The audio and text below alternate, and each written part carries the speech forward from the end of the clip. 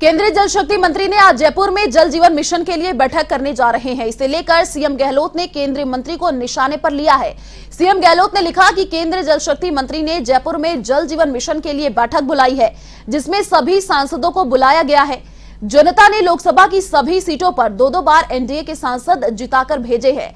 परंतु बड़ा दुखद है कि आज तक इन सांसदों, जिनमें चार केंद्रीय मंत्री भी हैं, उन्होंने राज्य के हितों की रक्षा के लिए केंद्र सरकार पर कभी दबाव नहीं बनाया। मैं आशा करता हूँ कि आज भाजपा के सांसद केंद्र की ओर से राजस्थान के अटकाए गए प्रोजेक्ट्स के लिए प्रस्ताव पास कर अपनी पार्टी के केंद्रीय नेतृत्व एवं केंद्र सरकार को भेजेंगे।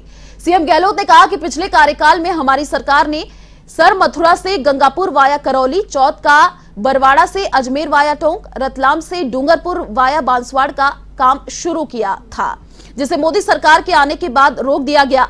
2013 में भिलवाड़ा के रूपाहेली में मेमू कोच फैक्ट्री की नींव भी रखी गई थी, जिसका काम मोदी सरकार ने बंद कर दिया।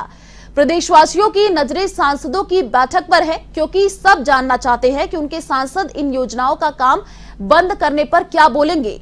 गहलोत ने कहा कि पूर्वी राजस्थान नहर परियोजना के तेरह जिलों के दस सांसदों की ओर भी जनता देख रही है कि प्रधानमंत्री की ओर से स्वयं इसे राष्ट्रीय परियोजना देने का वादा दो दो बार किया गया। इसके बावजूद तेरह जिलों की इस जीवनदायिनी परियोजना को राष्ट्रीय परियोजना नहीं बनाया गया है।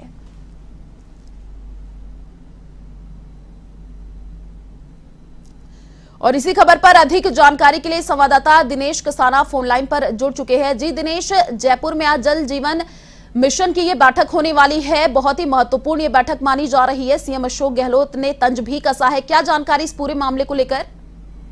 देखिए जल जीवन मिशन केंद्र सरकार केंद्र प्रवर्तित परियोजना है और इसके तहत हर घर नल पहुँचाने का केंद्र सरकार का जो प्लान है, उसके तहत 45 45 प्रतिशत की भागीदारी केंद्र और राज्यों की और 10 प्रतिशत जो अन्य सोर्सेज से हैं। तो इस तरह से केंद्रीय जल शक्ति मंत्री हैं गजेंद्र सिंह शेखावत। उन्होंने आज ये बैठक जल जीवन मिशन को लेकर जयपुर में रखी है और इस बैठक में सभी जो सांसद हैं लोकसभा के 25 उनको इस बैठक में बुलाया गया है। तो सभी 25 सांसद, चूँकि राजस्थान से बीजेपी के हैं तो सभी सांसदों को बुलाया गया और इस बैठक से पहले मुख्यमंत्री अशोक गहलोत ने एक बड़ा बयान जारी किया है और इसमें इन सांसदों को और बीजेपी को घेरने का काम मुख्यमंत्री अशोक गहलोत ने किया है।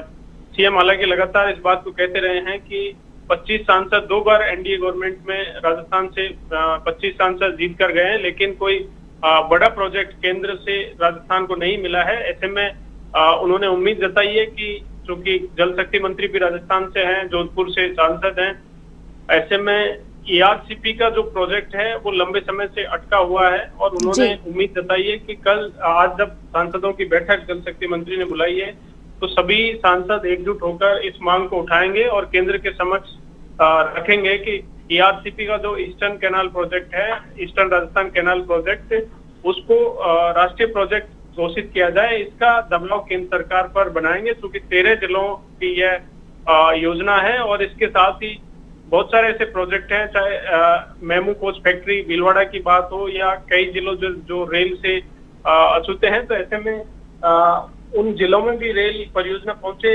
रेल लाइन बिछाई जाए और उसका भी ग्रीन सिग्नल केंद्र की ओर से दिया जाए। तो तमाम प्रोजेक्ट जो केंद्र सरकार के अटके हुए हैं, उसको लेकर मुख्यमंत्री अशोक गहलोत ने इन सांसदों की बैठक से पहले ये बयान जारी किया कल और उन्होंने कहा कि उम्मीद ये जताई है इस बैठक के ज़रिए कि जल शक्ति मंत्री ने बैठक बुलाई है। तो तमाम सांसद राजस्थान के भले के लिए, क्योंकि दो बार राजस्थान की जनता ने 25 सांसदों को राजस्थान से चुनकर भेजा है तो ऐसे में राजस्थान की जनता और राजस्थान की जनता की भलाई के लिए जो आज सांसदों की बैठक हो रही है, इस बैठक में तमाम प्रोजेक्ट को लेकर एक प्रस्ताव पारित किया जाए और केंद्र सरकार पर दबाव बनाया जाए। इस तरह का तंज मुख्यमंत्री अशोक गहलोत ने इस बैठक से पहले कसा जी। शुक्रिया दिनेश, तमाम जानकारी साझा करने के लिए।